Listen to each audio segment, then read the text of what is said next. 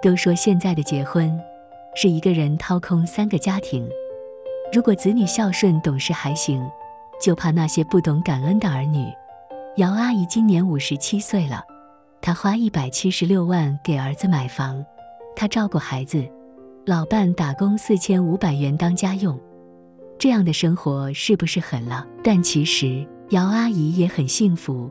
姚芳姚阿姨在深圳看孙子，做做家务，她觉得也还行。想着小孙子上幼儿园了，她也去找个工作，这样也能多挣点钱，帮帮儿子。她带着小孙子亮亮回家后，让孩子玩玩具，她做晚饭。家里四口人，开销挺大的，她就做了个炖排骨、荷兰豆炒腊肉、酸辣土豆丝和炒青菜。吃饭的时候，儿媳不高兴，不过也没说什么，就是一直拉着脸，像是和儿子吵架了。姚芳也没说什么，她觉得年轻人的事情，她就不操心了。她带好孩子，帮着做做家务，其他的就不管了。饭后，儿子收拾了饭桌，他和老伴出去转转，锻炼锻炼身体。等他们回来的时候。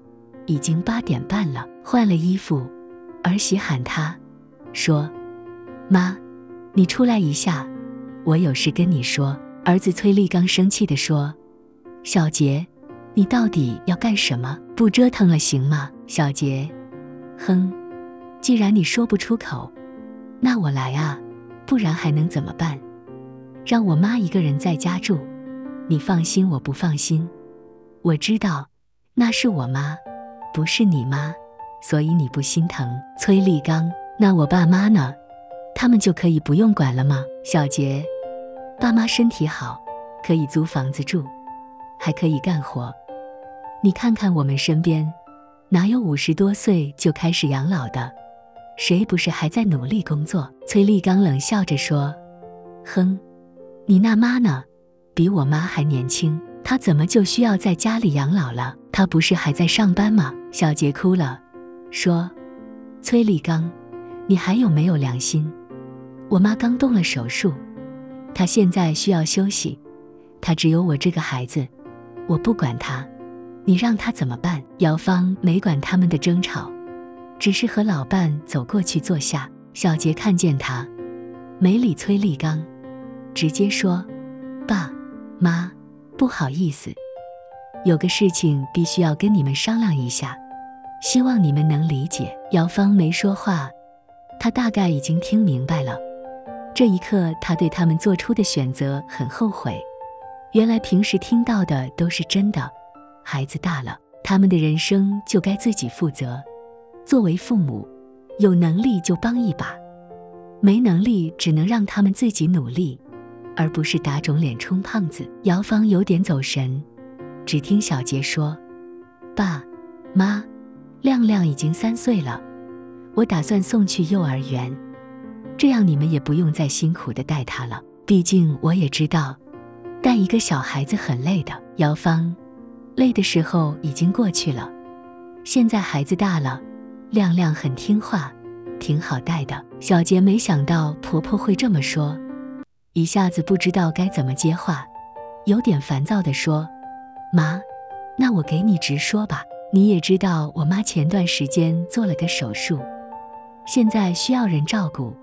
你们也看见了，这个房子就这么大，我妈来了实在住不下。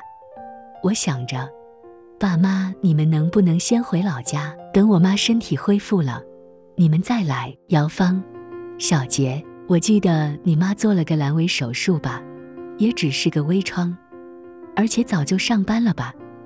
那她住这儿。工作怎么办？小杰，我妈是上班了，可是身体很弱，需要好好补补。我已经托人给他办病退了。他本来就是企业的普通员工，身体不好，厂里恨不得他赶紧走呢。姚芳，我，那你打算让我们回去住哪儿？当初你们买房子没首付，你说让我们把房子卖了，到时候和你们一起住。如今你又要我们回去。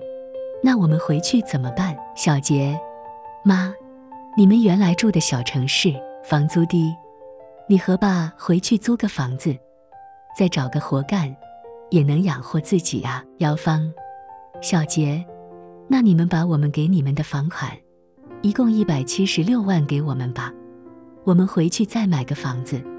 我们呢，不像你妈，有工作，工资也高，而我们一辈子就做了点小生意，辛苦挣的钱也就那么多，全部给你们了。现在老了。总得有个住的窝吧。小杰脸白了，婆婆一直很好说话，一起相处的这四年，婆婆在生活中尽量做她能做的，其他的都不多话，也不干涉他们的生活。而今天她才知道，婆婆原来是个很厉害的人。她大声地说：“爸妈，立刚结婚，你们作为他的父母。”给他买房不是应该的吗？怎么现在又要我们还回去？我们每月房贷一万六千，加上一家的生活费、养孩子的费用，哪里还有钱？姚芳，他是我们的儿子，可是他研究生毕业的时候，我就跟他谈过，如果他回我们老家的省城，我们可以想办法给他付首付买房，可是他非要留深圳，他自己都说了。以后的房子自己想办法。崔丽刚坐在那，听到妈妈的话，脸色更黑了，也很羞愧，说：“爸妈，对不起，都是我的错，我就不该急着买房子，有能力就买房，没能力租个房子才对的。”小杰瞪着他说：“是，结婚前我是说过，我们一起努力买房，可是……”我怀孕有孩子了，难道要让孩子在出租房里出生？老崔突然开口说：“立刚，这件事你是怎么考虑的？还是你们已经商量好了？不过是在我和你妈面前，一个唱白脸，一个唱红脸的演戏呢。”崔立刚大声地说：“爸，你说什么呢？我是那种人吗？我怎么可能干出这种事？”小杰，爸妈，我希望你们能体谅一下我。你们也是当父母的，你们也不希望我是个不孝的人吧？姚芳，让我们卖了房子，和你们一起住，这是当初买房的共识。如果当时你们说了这个房子没有我们的房间，我们也不会把老家的房子卖了，最多给你们资助一部分。小杰，现在你不让我们住这儿，要让你妈妈来住，那就把一百二十万给我们。其他的五十六万是我们资助你们买房的，就不用给了。小杰，妈，我已经说了，我们没钱。你们两个人在这住了四年，每个月要花多少钱，你心里没数吗？姚芳，我，你要这么说，那我可要说清楚了。立刚他爸在超市工作，每月工资四千五百块，都用来家用了，这样算来。这四年不是你们养我们，反而是我们养你们了。崔立刚，爸妈都是我不好，你们放心，我现在工作也升职了，工资涨了后，就不用我爸这么辛苦了。老崔看着他说：“立刚，我们是一家人，各自尽力过好日子是应该的。可是如今你们要这样，那我支持你妈妈的决定。”姚芳看了他们一眼，嗯。我们可以回去，你们给一百二十万就行。现在没有，就打借条吧，每个月还钱也行。这样我们也有钱租房子了。说完，他起来拉着老崔回房间了。进屋后，姚芳看着老崔，说：“老崔，我们回去吧，租个房子过我们自己的日子。儿子家不是自己家，我们早该明白的。”老崔低着头。说：“老姚啊，都是我没用，你都老了，反而没有家了。”姚芳，老崔，我们本来就这一个儿子，帮他是我们该做的，我们错在不该卖了房子，现在都没个后路了。老崔，老姚啊，那你说我们现在该怎么办？真的要回去租房吗？姚芳，老崔，如果我们坚持住在这儿。肯定免不了争吵，我们这个岁数了，也吵不起了，还是走吧。老崔，老姚，你说我们就在这，再把生意做起来，你说怎么样？”姚芳他们原来是卖盒饭的，两荤两素十块钱，基本都在工厂门口或者市场门口，老客户比较多，但是卖的便宜，也就挣个辛苦钱。深圳这边到处都是写字楼，只要做得干净，口味好，应该会有市场。可是万事开头难。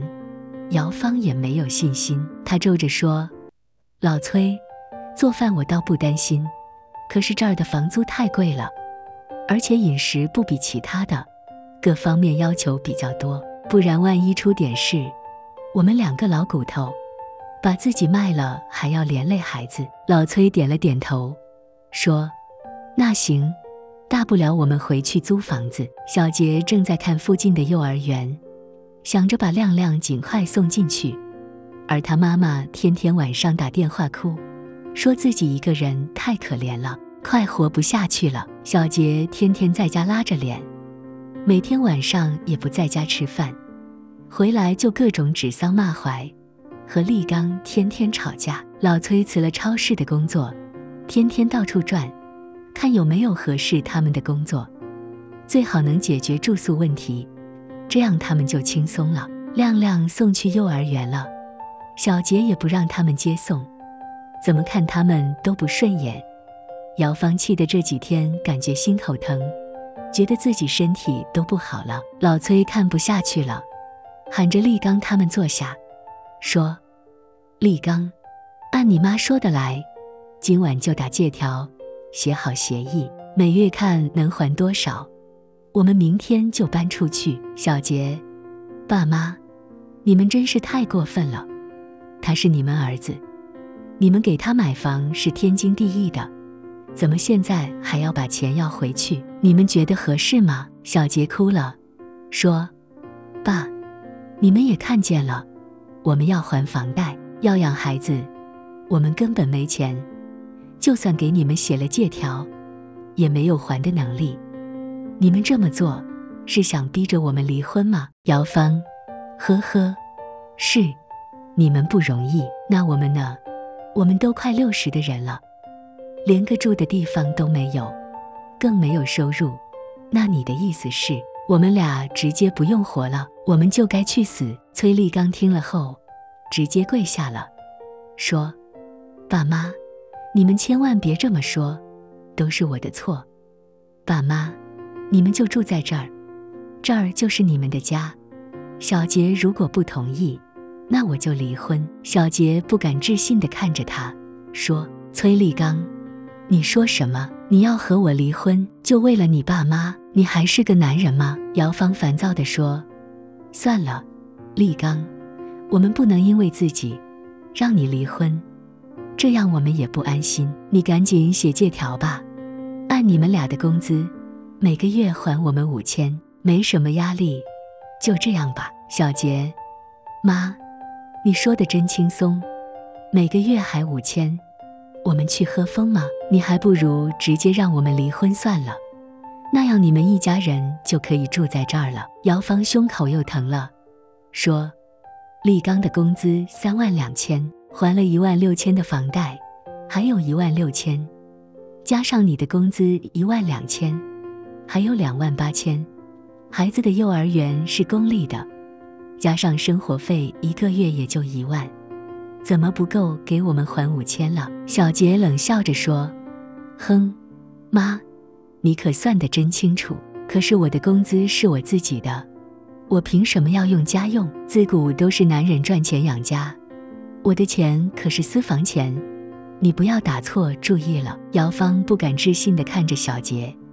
说：“小杰，这是你的家，你婚前还说要一起买房，原来都是空的。你到底想没想和立刚好好过日子？”小杰冷笑着说：“哼，妈，你去问问现在那个女的，结婚后自己的钱不是自己花的，我不为自己存点钱，我和我妈怎么活？”姚芳，立刚，写借条吧。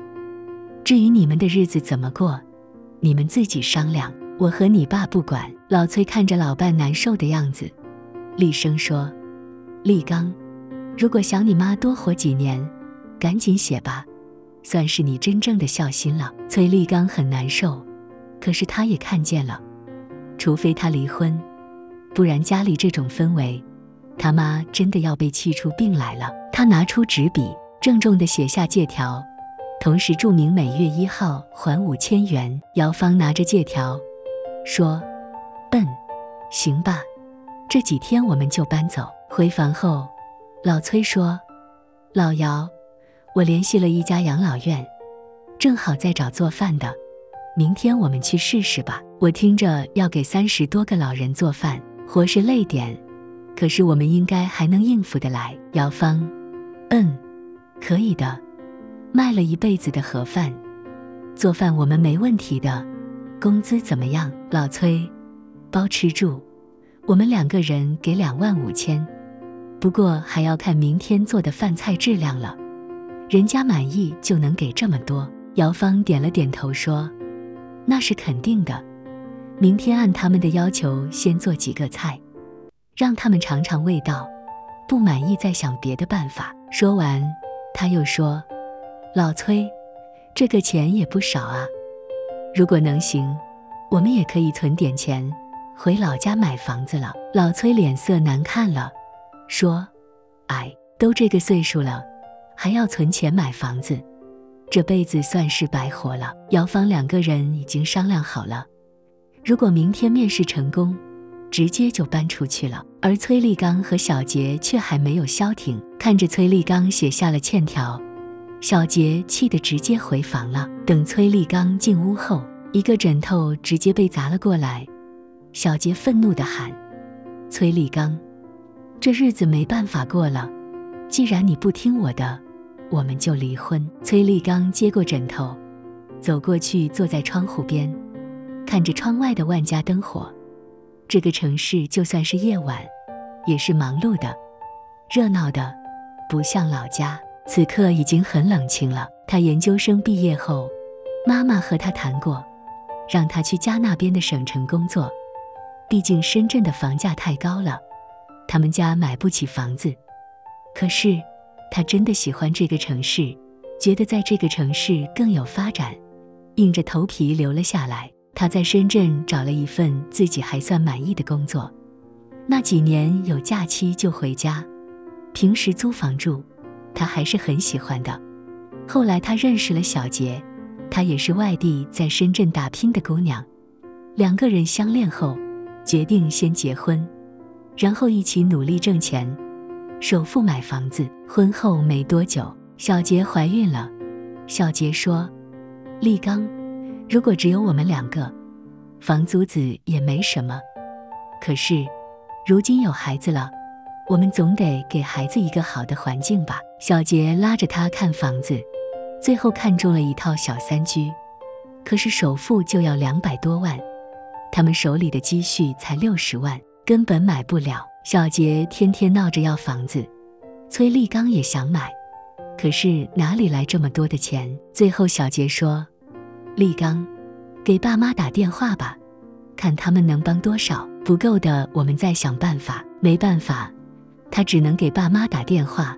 妈妈说可以给五十多万，加起来也才一百多万，还差一半多。小杰一直哭，突然说：“立刚。”让爸妈把房子卖了，过来和我们一起住，正好也能帮忙带孩子。崔立刚当时不同意，说：“不行，爸妈辛苦一辈子，除了供我读书，就挣下了那套房子，卖了他们怎么办？”小杰烦躁地说：“哎呀，你怎么这么死板啊？我不是说了。”让爸妈过来和我们一起住吗？这套房子有三个房间，虽然小一点，可是能和儿子、孙子一起生活，爸妈高兴都老不及呢。崔立刚，小杰，你可要想好了，既然要和我爸妈一起住，肯定有很多不方便的，到时候可别说有婆媳矛盾什么的，那样就不好了。小杰，不会的，只要妈不找我麻烦。我肯定和她好好相处，他还是不同意。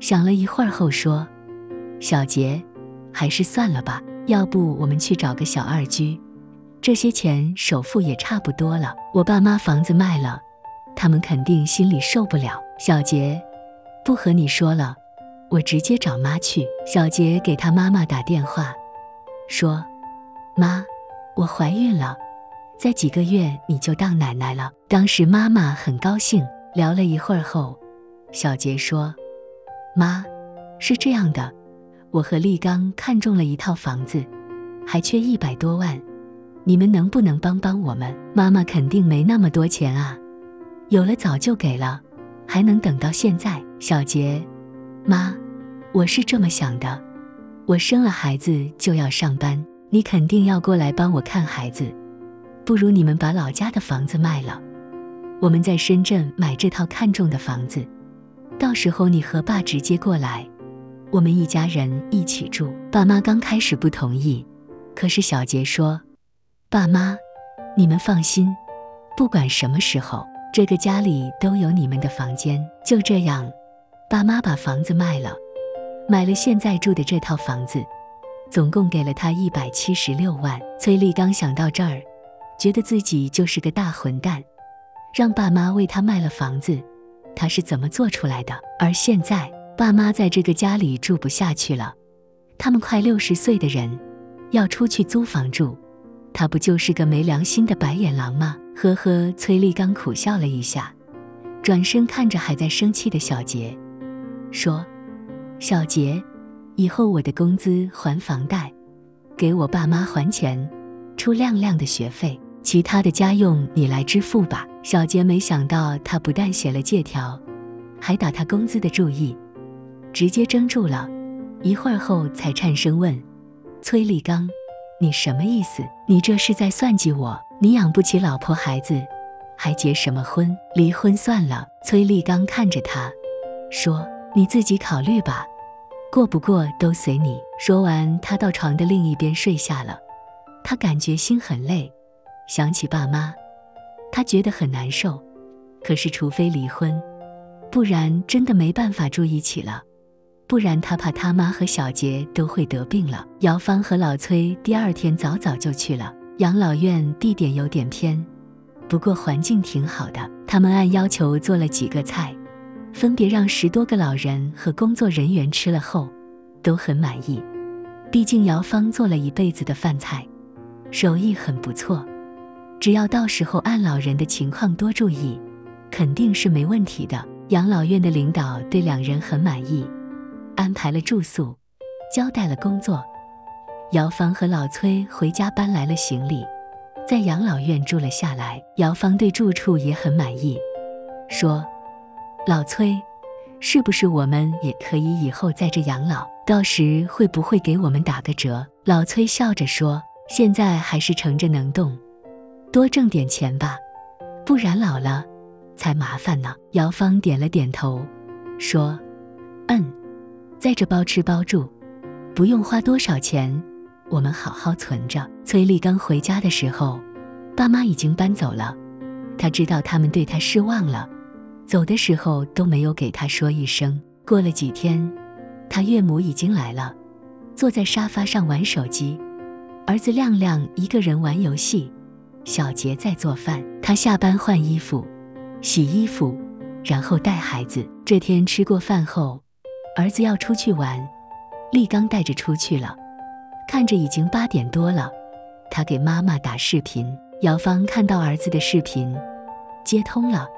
视频里孙子的小脸露了出来，对着他喊：“奶奶，奶奶，你吃饭了没？”姚芳知道肯定是儿子不好意思，让亮亮打头阵呢，笑着说：“爷爷奶奶都吃过了，我们刚忙完。”有空去看亮亮啊！孩子很高兴，摇着小手跑了。儿子说：“妈，你和我爸找到房子了吗？住的怎么样？”姚芳笑着说：“立刚，我和你爸挺好的，我们找到了工作，包吃包住，你好好过日子，别为我们担心。”立刚，嗯，妈，有什么事及时给我打电话。姚芳知道儿子也不容易。可是，还能怎么办呢？只要活着，有那个人是容易的呢？他只能在能力范围之内，让儿子不要那么为难。可是每个月五千块钱，他肯定要的。他想着存够钱，回老家买房子。这么大岁数了，没个窝，心里空落落的，一点都不踏实。他和老崔每天都很忙，养老院为了节省开支，整个做饭、买菜、收拾这些活都是他们的。不过好一点的是，收拾和送饭的时候会有两个员工帮忙。但是他和老崔很高兴，累是累点，但是每个月的工资两万五千到账。那种满足是没办法形容的。儿子的五千，每月也是按时转过来，这让他心里舒服了很多。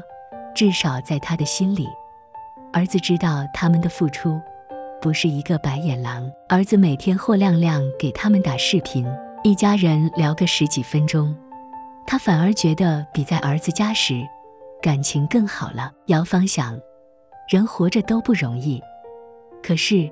彼此尊重和理解才是最重要的。父母理解孩子，孩子体谅父母，才能让亲情更加温暖。不过，他想父母帮助孩子的时候，还是要量力而行。时间就像个筛子，不停地过滤着每一个身边的人，无论亲情、友情。而对于我们最爱的人，一定要好好珍惜。人生如茶，沉时坦然，浮时淡然。拿得起也需要放得下，接受目前的处境，努力更好的生活，才是对自己最生活最好的安排。